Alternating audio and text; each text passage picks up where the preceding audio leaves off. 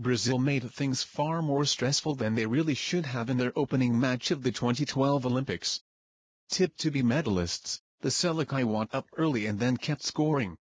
They led 3-0 at halftime, and for a while it looked as though the match would be a merry romp to a silly scoreline. But Egypt were unbroken, and stormed back in the second half, scoring twice and making Mario Menezes' men very dangerous. Not that that stopped Brazil from winning, but it did make things fairly entertaining. It didn't take long for the Brazilian goal parade to arrive.